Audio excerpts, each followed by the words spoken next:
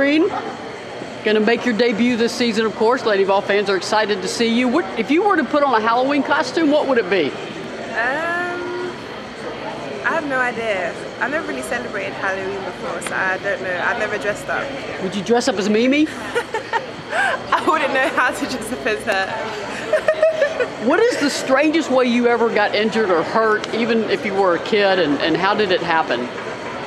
Um, Cassie shared way too much about falling on her rollerblade. Oh my gosh. Yes. Um, I've never, I've never had issues with that as a kid, or falling over, or anything like that. So the ACL injury was is yeah. that was that your first experience getting hurt? Yeah, that was my first impact injury. Yeah.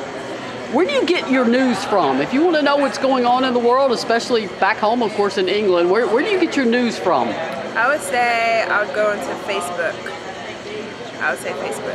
And what feature do you wish your phone had right that it doesn't have now? What do you wish it could do? That's a good question. Um,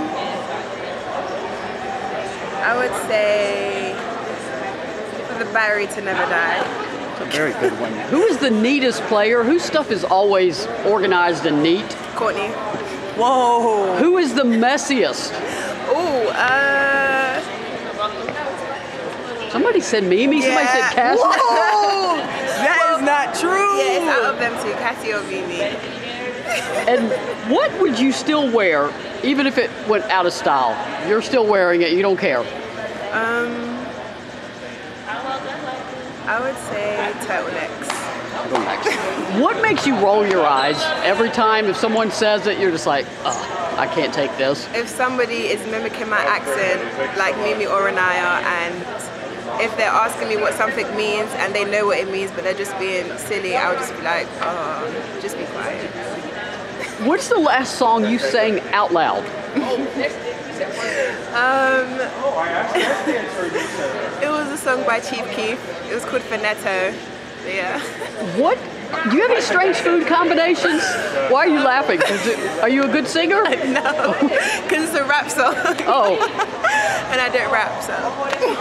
what was um, strange food combinations? Are there foods you combine that maybe your other people wouldn't that you like to eat?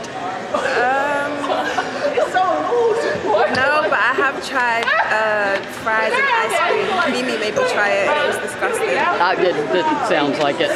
What will surprise fans about this team in a good way this season? Oh, I think when we have when we bring energy, we have a lot of energy, and the atmosphere is like great. Like I had never been a part of a team where the, when we're when we're together, like we're really together, and I think that's the main thing.